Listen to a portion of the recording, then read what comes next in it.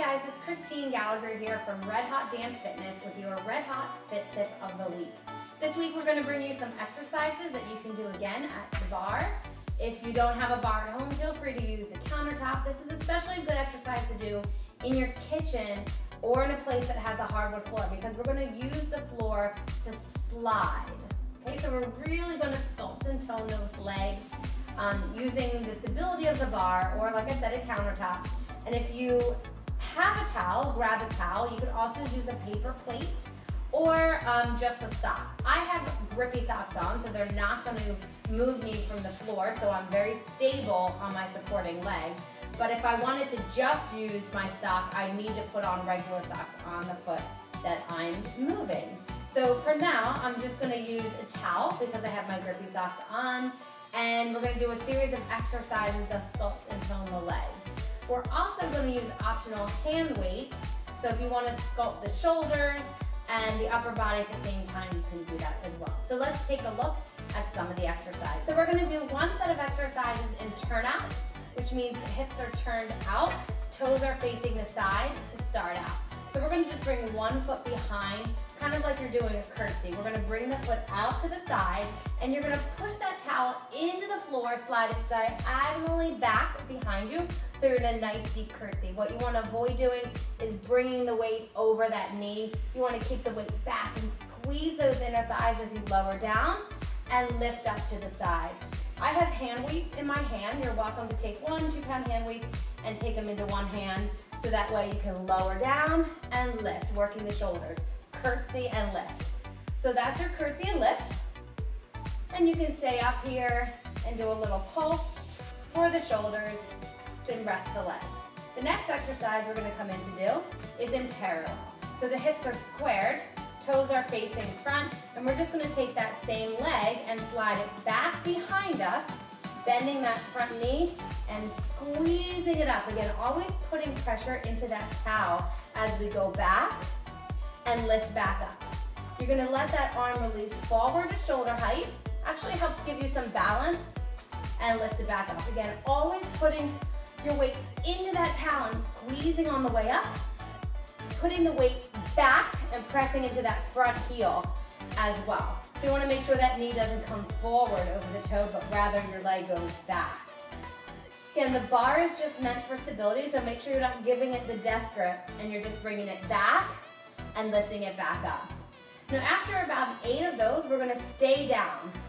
So find that place that you feel the burn in that hamstring and the glute, and you're gonna give a little pulse. Just at shoulder height again. Working the shoulders, and if you get a little fatigued, you can also just lift up a little bit. Or if you wanna work a little harder, lower back down. Once we're here, we're gonna drive that elbow into the side of the body, bringing that knee in. Now the goal is to stay low. So rather than lift back up, we're just driving in and pressing back out. In and pressing back out. Now once you're comfortable here, the very last exercise we're gonna add on, you're gonna bring the arms back in, bring weight in both arms, and you're gonna release the weight away, your limbs away from the body, and we're gonna do these fast. Two sets of eight.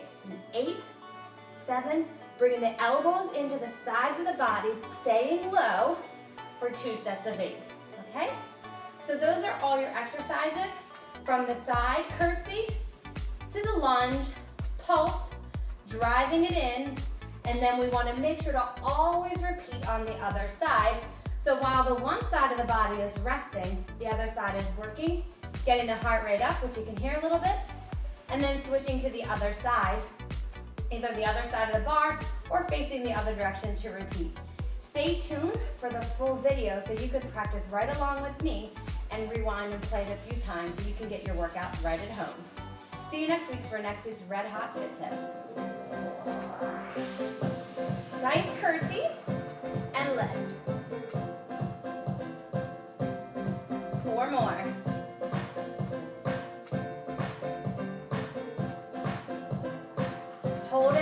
here.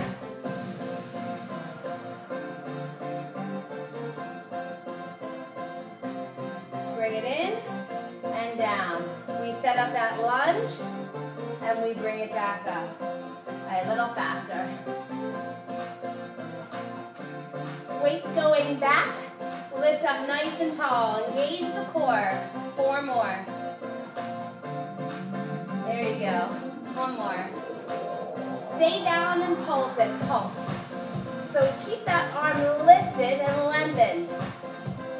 That heel. Eight more. Feel the burn, and if you need relief, just lift it up a little.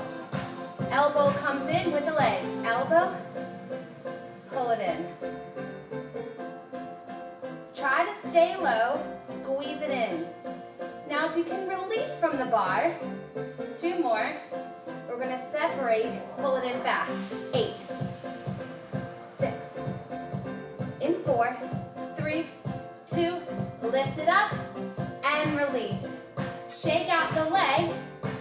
and repeat on the other side. Everybody get up.